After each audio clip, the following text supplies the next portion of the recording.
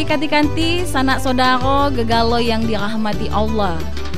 Berjumpa lagi pada serial Manasik Haji berbahasa daerah Jambiko. Nah, kali ko saya nak berbagi informasi mengenai materi perjalanan haji mulai dari keberangkatan dari Tanah Air sampai sebelum wukuf di Arafah. Ayolah kanti-kanti, jangan nunggu lama lagi. Kita tengok tayangan yang sekok-kok.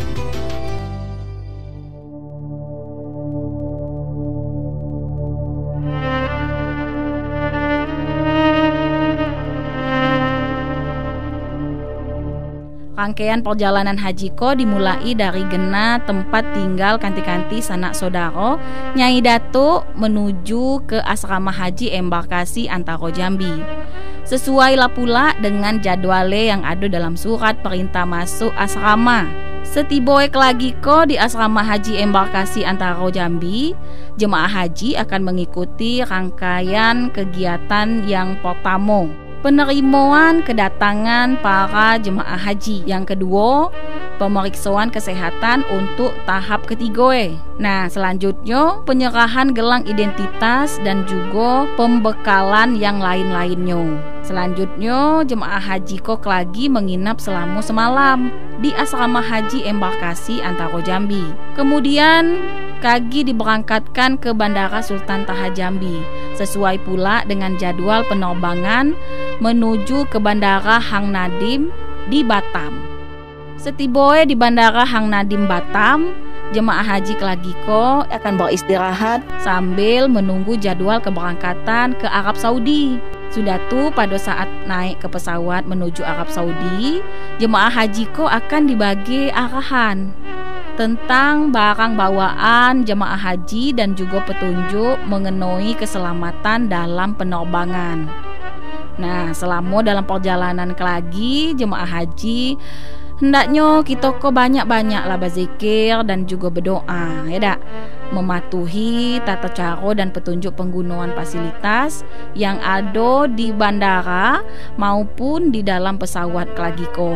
Pelaksanaan sholat selama dalam pesawat Klagi ataupun selama dalam perjalanan kita dapat dilakukan dengan cara jamak dan kosa. Soto kita melakukan tayamum.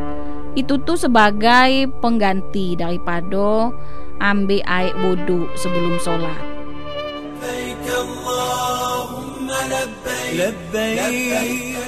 Latibo para jemaah haji di Arab Saudi kagi terbagi menjadi dua gelombang.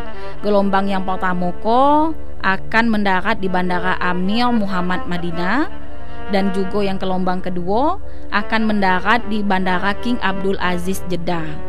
Sudah tu melewati pula pemeriksaan keimigrasian yang ada di Bandara Madinah. Jemaah haji gelombang yang pertama itu akan diberangkatkan menuju hotel dan menginap selama kurang lebih 8 sampai 9 hari untuk melaksanakan sholat arba'in. Sholat 40 waktu secara berjamaah dan berturut-turut di Masjid Nabawi serta melakukan ibadah sunnah lainnya. Dan berziarah ke tempat-tempat bersejarah selama tinggal di Madinah lagi sudah tuh jemaah haji gelombang satu akan diberangkatkan ke Mekah setelah sebelumnya tuh lagi mampir dulu di Bir Ali namoi sebagai mikat tempat untuk memulai ihram.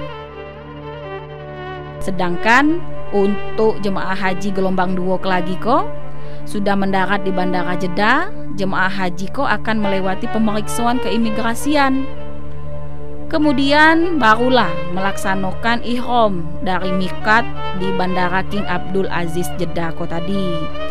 Kemudian diberangkatkan pula ke kota Mekah sesuai urutan rombongan busnya menuju hotel tempat menginap jemaah haji tersebut.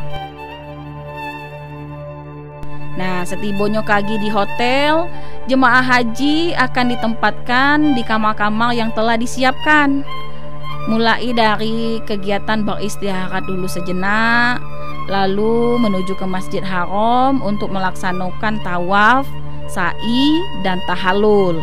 Dan balik ke hotel Kolkagi setelahnya. Seluruh jemaah haji yang telah melaksanakan ihram tadi dari mikat tadi itu wajib menjaga diri dari perbuatan-perbuatan yang dapat membatalkan ihramnya dan juga dianjurkan untuk memperbanyak tolbiyah.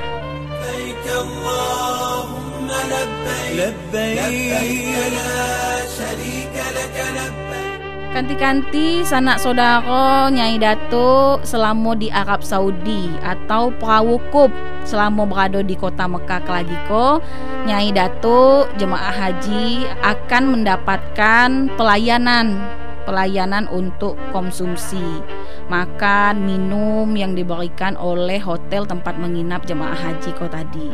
Lalu jemaah haji kau tadi hendaknya mematuhi petunjuk dan juga arahan yang disampaikan oleh petugas. Kemudian menggunakan alat transportasi bus solawat yang sudah disiapkan untuk menuju dan kembali dari Masjidil Haram kota tadi. Serta menjaga keamanan dan juga kenyamanan diri para jemaah haji dan juga lingkungan sekitarnya. Nah, sebelum pelaksanaan wukuf, jemaah haji hendaknya tak ada pula memaksakan diri ya tak untuk melaksanakan ibadah-ibadah sunnah lainnya. Jika kondisi tidak memungkinkan, dan menjaga kondisi fisik kita ko agar tetap bugar untuk menghadapi puncak e pelaksanaan haji lagi ko. Nah, kanti-kanti sanak saudara Nyai Datuk sampai siko dulu ya dak penjelasan informasi rangkaian perjalanan ibadah haji ko. Semoga bermanfaat dan jangan lupa Nyai Datuk, lagi ko ada lagi informasi tentang ibadah haji yang lainnya. Latu, paham lah ya? Terima kasih dan sampai jumpa.